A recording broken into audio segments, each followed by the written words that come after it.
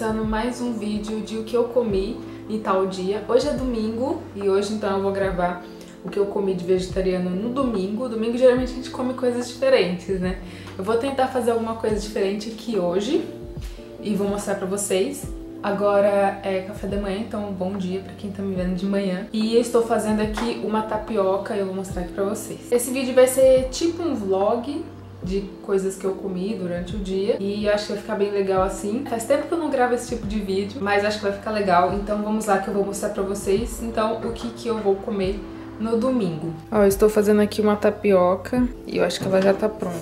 Sim. Quando ela começa a sair assim da frigideira, é que tá pronto. Eu vou rechear com banana e pasta de amendoim. Eu comprei essa pasta de amendoim aqui, não é propaganda pra marca, tá? Mas é Comprei ela em bisnaga, assim, e eu achei meio prático, assim. Só que eu achei que ela é mole, eu não gostei do fato dela ser mole. Geralmente as pastas de amendoim não são moles, assim. Eu não sei o que aconteceu com essa pasta aqui. Alguém que já comeu essa pasta de amendoim, me fala se ela é assim mesmo, porque eu tô achando muito estranha. Vou tomar também aqui o café com leite de sempre. Eu amo tomar café com leite, amo café. também vou comer aqui dessas bolachas maisena, que eu gosto Gosto de mergulhar no café, sim, eu tenho esse gosto e eu acho maravilhoso. E é isso que eu vou comer então agora de manhã, porque agora também já tá meio tarde, então eu não vou comer muita coisa. Tô sentada aqui no chão agora porque eu quero mostrar pra vocês uma planta que eu comprei, que é uma punk, é uma planta alimentícia não convencional. Vou mostrar pra vocês, ela está aqui, ó, bem linda.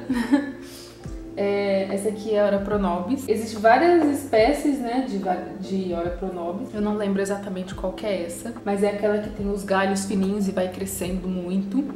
E eu vou mostrar aqui pra vocês, porque agora eu vou regar minhas plantas. Eu tenho algumas plantinhas aqui. E eu comecei a fazer uma era de batata. Não sei se vocês já ouviram falar disso, mas eu vou mostrar pra vocês. Ela tá ficando linda e enorme. Bom, então como eu falei, essa aqui é a Aura Pronobis. Ela gosta de meia sombra. Eu tô deixando um pouquinho aqui no sol, desse horário, porque agora é de manhã, então o sol não é tão forte e ela gosta um pouco desse sol. Vou regar aqui, eu não tenho regador. Gostaria muito de ter aquele, aqueles regadores chiques, sabe? Que você aperta assim. Eu, eu vou tentar achar e pôr uma foto aqui, mas eu queria muito daqueles, eu acho muito lindo. Eu tenho essa plantinha aqui também, que eu não lembro o nome dela agora também. Eu só tenho as plantas, eu não lembro o nome. Essa aqui, ela dá flor, mas até agora ela não dá flor. Eu tive que replantar ela, cortei vários pedaços, ó. E replantei, porque ela tava num, num vasinho, gente, desse tamanhozinho assim, ó. Pequenininho. E ela caiu no chão. Aí eu percebi que era hora de fazer a troca de vaso e ter que cortar ela em vários pedaços e, e plantar aqui. Antes eu deixei na água, né, pra criar raiz e tudo mais. Deu certo. Tem essa daqui também que infelizmente não está muito bonita, porque eu deixei no sol e ela queimou. Muito esperta, deixei, não pode, essa planta não gosta de sol, ela gosta realmente de ficar na sombra. E eu acabei deixando no sol, não entendi por que, que eu deixei no sol, sendo que eu sei que ela não gosta de sol, mas eu deixei. Eu não lembro o nome também dessa planta, também tá na hora de trocar de vaso, ela tá enorme. É uma planta que eu vi num dorama que eu assisti, que é a planta é a árvore do dinheiro. As pessoas que têm essa planta atraem muitas riquezas. Achei muito legal isso que eu vi no dorama. Olha as folhinhas, ó. Coitada das folhinhas. Ficaram todas amarelas. E outras queimaram mesmo, de fato, ó. Essa daqui. Essa queimou. Daí eu tô tentando recuperar ela aqui. Eu acho que vou ter que replantar. E, ó, a era de batata que eu falei. É realmente uma batata doce, gente. Sim. Eu vi na internet e falei, vou testar. Aí ela está enorme, ó. Tcharam! Enorme, enorme, enorme. Esse fio aqui. Fio não, essa parte, né? Eu estou até pensando em cortar um pedaço aqui e colocar na água para ver se nasce raiz. Estou com medo, na verdade, de fazer isso e, e estragar tudo, mas tá enorme. Eu achei tão linda essa folhinha. Bom, agora chegou a hora do almoço e eu vou preparar umas comidinhas para já ficar pronto também durante a semana. Para hoje eu vou fazer kibe de abóbora cabotiã, que é muito gostoso. Eu amo comer isso, então eu vou fazer hoje. Vou mostrar aqui um pouquinho para vocês. E hoje eu pretendo fazer pão de beijo e bolo de banana. Hoje o dia tá, hoje o dia tá culinário. E também eu já vou deixar cortado algumas coisas e deixar congelada, que facilita muito a vida durante a semana. Essa é a dica, já deixa os legumes todos cortados, já congela alguma parte, por exemplo, deixar a cenoura ralada já congelada ajuda bastante também. Na hora que for fazer ela ralada, que já foi congelada, ela fica bem molinha, fica parecendo um creminho, então fica uma delícia. Folha de couve, por exemplo, já deixar toda picotada para usar durante a semana e me facilita bastante. Eu acho que pode ajudar alguém. Então vamos lá que eu vou fazer o almoço.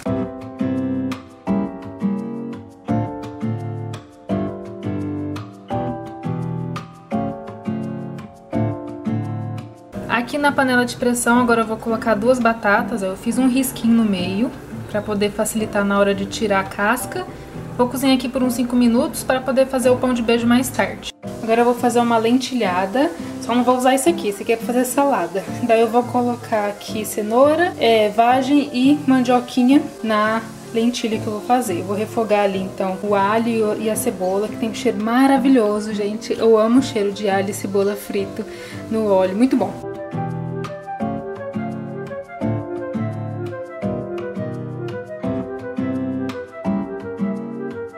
Bom, finalmente o almoço ficou pronto. Aqui a lentilhada, o quibe, o arroz e aqui uma salada de rúcula com pepino japonês.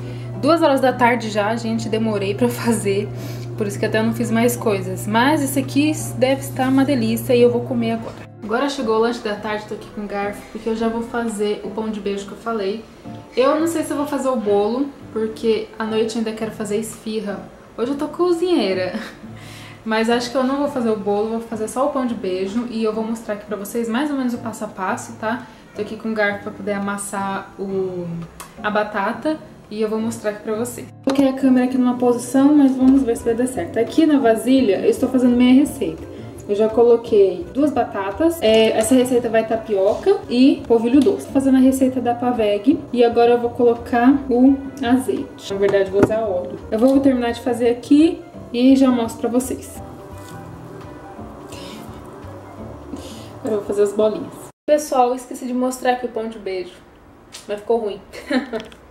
ficou salgado e eu deixei passar do ponto. Ficou a casquinha muito dura e ficou salgado.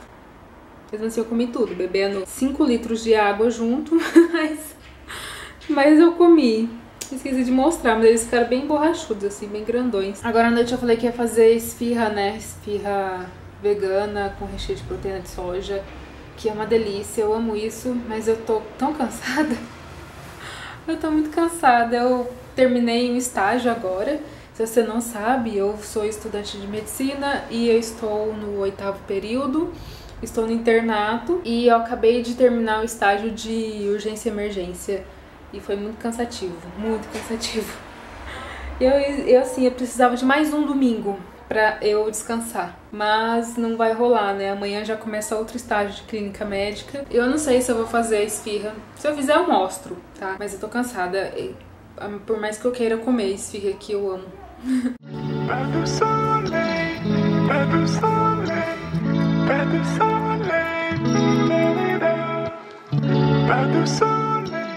Bom dia, pessoal.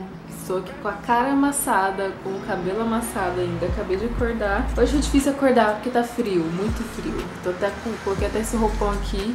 Que ele é quentinho, parece cobertorzinho. Resolvi continuar o vlog hoje. Porque ontem à noite eu não fiz nada. Eu só comi o kibe que eu tinha feito no almoço. Daí eu resolvi continuar hoje, então, o vlog. Mostrar o que eu vou comer no dia de hoje. Hoje começa meu novo estágio de clínica médica. É um estágio restritivo, eletivo. Eu não tenho prova. Só tenho nota de conceito, que é a participação do estágio, interesse pelo estágio e tudo mais. Então eu vou mostrar aqui pra vocês que eu vou comer agora de manhã e daqui a pouquinho eu já tenho aula inaugural. Então, eu, como eu enrolei um pouquinho pra acordar, eu tô meio atrasada. Então vamos lá. Bom, então o que temos aqui são duas fatias de pão. Aqui tem abacate com um pouquinho de, de açafrão em cima e orégano. E aqui outro com pasta de amendoim e um pouco de canela em cima. Aqui leite de soja, que eu vou pôr café eu amo café com leite. Todo dia eu tomo café com leite. E também vou comer bolacha é, de maisena. E aí, pessoal, cheguei aqui do estágio. Na verdade, foi só uma demonstração, uma apresentação lá do, do hospital para mostrar como é o hospital, para conhecer. Eu já conhecia porque eu passei lá já na medicina interna. O meu estágio que eu estou fazendo agora em clínica médica 1, eu passo junto com o pessoal do quinto ano, né? Eu estou no, terminando o quarto e eu vou passar então com o pessoal do quinto ano. E eu já voltei para casa e já está na hora de fazer o almoço. E o que eu vou fazer? Feijão, porque não pode faltar feijão na minha vida. E vou cozinhar grão de bico também, eu vou cozinhar os dois. E o que mais eu for fazer, eu vou mostrando aqui. Vamos lá então para hora do almoço. Bom, eu tenho aqui as leguminosas que eu deixei de molho por não sei quantos dias. Hoje é segunda, eu deixei desde sábado à noite. Deixei tempo demais, porque como aqui tá frio, não tava soltando os fitatos. Aí eu deixei aqui. É, agora não tem muito fitato em cima, mas já soltou um pouquinho mais do que o, o, o que não estava, né? Ficou, ficou um pouco embolado, mas enfim. Eu acho que até ficou um pouco de tempo demais o feijão. O cheiro dele deu uma mudada, mas eu vou fazer mesmo assim. Porque o feijão eu gosto de deixar 24 horas e o grão de bico eu também tô deixando 24 horas, pra falar a verdade, porque antes eu deixava mais e ele acabava apodrecendo, ele ficava com a pontinha dele preta e tudo mais. Então não tava dando certo. E eu vou escorrer aqui, primeiro vou cozinhar o grão de bico e eu cozinho normal, ponho na panela de pressão, ponho água até cobrir, um pouquinho a mais só, e ponho para cozinhar por uns 18 minutos, 15 a 18 minutos. Bom, e agora eu vou cozinhar então o feijão. Eu peguei aqui um super dente de alho que nasceu meio grudado assim. Daí eu vou ralar esse daqui, que eu gosto de fazer alho ralado. E vou colocar um pouco de cebola. O feijão eu faço assim, eu já cozinho, eu já frito na panela de pressão o alho e a cebola, né? A cebola eu não uso sempre, mas hoje eu vou usar. Eu frito, daí eu coloco o feijão, dou uma misturada, ponho água, não ponho sal. O sal eu deixo pra pôr depois tá bom? E é o que eu vou fazer agora, então, feijão, porque eu amo comer feijão. Vocês também gostam de comer feijão? Eu sou, assim, apaixonada por arroz e feijão, eu tenho que comer todo dia. Bom, e o que mais eu vou fazer? Tá dentro desse potão de açaí, que não é açaí. é folha de couve e folha de brócolis cortados, ó. Eu deixo tudo cortadinho assim, porque facilita muito a minha vida. E eu só vou refogar agora com um pouco de cebola numa frigideira mesmo. E eu gostei muito de comer a folha do brócolis. A primeira vez que eu comprei o brócolis em maço, assim, sabe, que vem com as folhas mesmo. E a folha é meio amarguinha, mas eu achei muito gostoso. Então eu resolvi cortar tudo como se fosse couve e colocar aqui pra fazer também. E é o que eu vou fazer isso agora no almoço, além de comer o que sobrou de ontem, né, que eu fiz, que é o quibe e a lentilhada. E o arroz. E é isso que eu vou comer na hora do almoço. Então eu mostro pra vocês na hora que o prato estiver montado. Tcharam! Tá aqui meu prato, então aqui a lentilhada, aqui a folha de brócolis que eu fiz refogada, arroz e feijão e o quibe assado de ontem. Agora no intervalo de uma aula para outra, eu vou... Uma aula para outra não, no intervalo da aula mesmo. Vou comer aqui abacate amassado com um pouquinho de sal e essa bolacha aqui de água e sal mesmo. Deu uma fome agora durante o intervalo da aula e eu vou comer isso aqui agora. Provavelmente mais, mais tarde eu vou comer de novo, então eu mostro. Acabei fazendo uma tapioca aqui com banana e pasta de amendoim depois da aula. Tá faltando um pedaço aqui porque quebrou. Essa parte aqui não ficou muito bem feita, mas tá bom. Ela ficou meio fina, eu acho. Por isso que quebrou.